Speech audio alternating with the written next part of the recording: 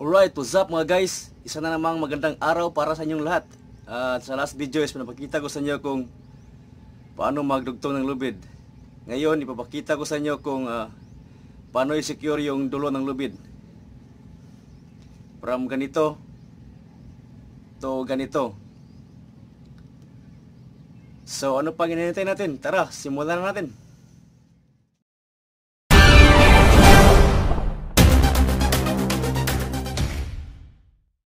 Pero bago ang lahat mga guys, huwag niyong kalimutang i-click ang subscribe button dyan sa baba. At saka i-click mo na rin yung notification bell para updated ka sa next video natin. So tara, simulan na natin. So ito na yung dulo ng lubid natin mga guys. Ayan, nakatape na yan. Ngayon, ah, tanggalin natin sa isa.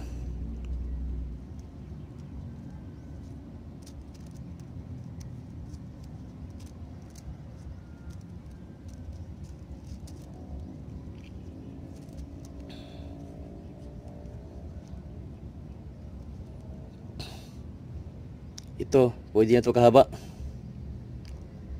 Dapat ganito yung magiging forma niya.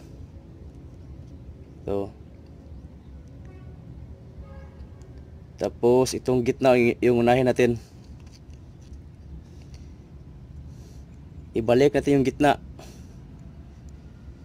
Baluktutin natin pabalik. Yan.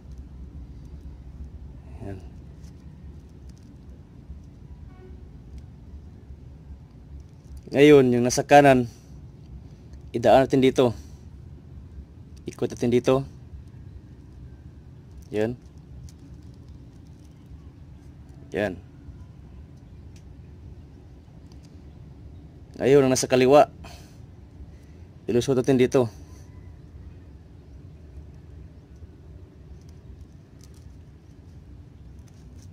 Yan.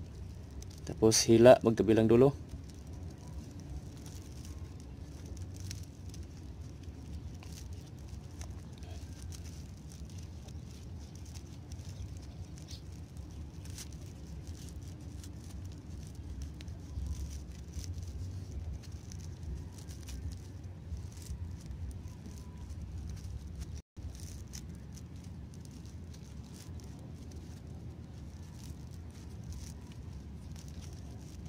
So ito na yun mga guys.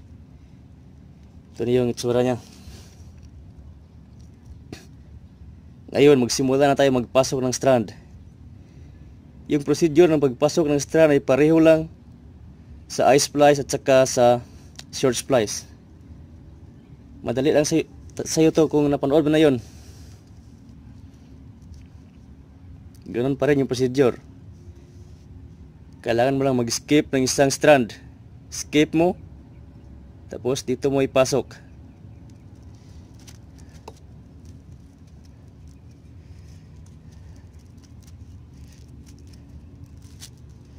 Hila. Yan. Sa isa naman. Ganun pa rin. Skip mo siya. Dito mo ipasok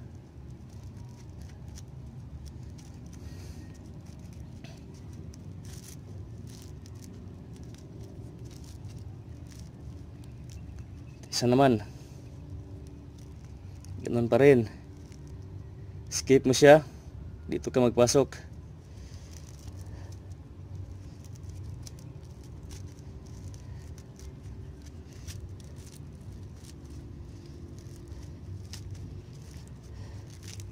Ila.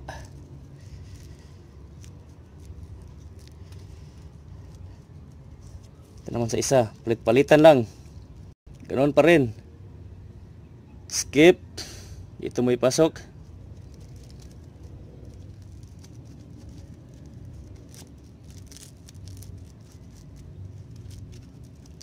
Wala naman. Skip. Dito ka magpasok.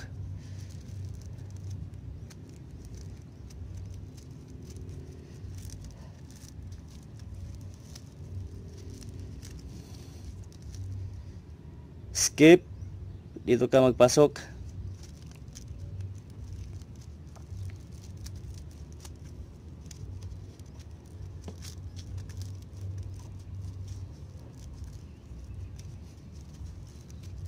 Yun, last na to.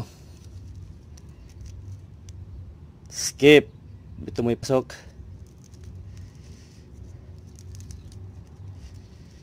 Madali lang ito mga guys.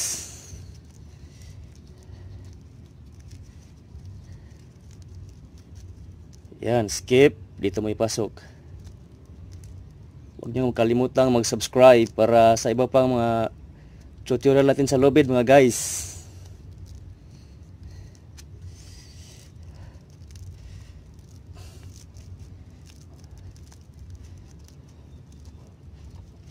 Yun, last one.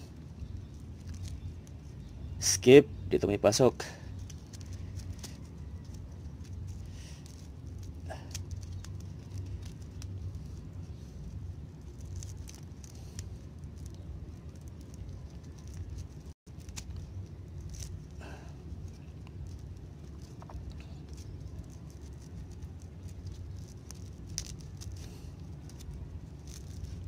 So, ayun. Tapos na natin may pasok lahat.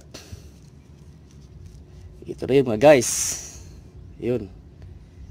Secure na yung dulo ng lubid natin. You know?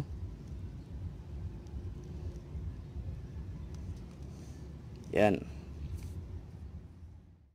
Alright. Ito na yun mga guys. Kita nyo naman. Secure na secure na yung dulo ng lubid natin. Ayan. Kung marunong ka na nito, hindi mo na kailangang sunugin yung dulo ng lubid mo or i-overhand. Ito na lang yung gamitin mo.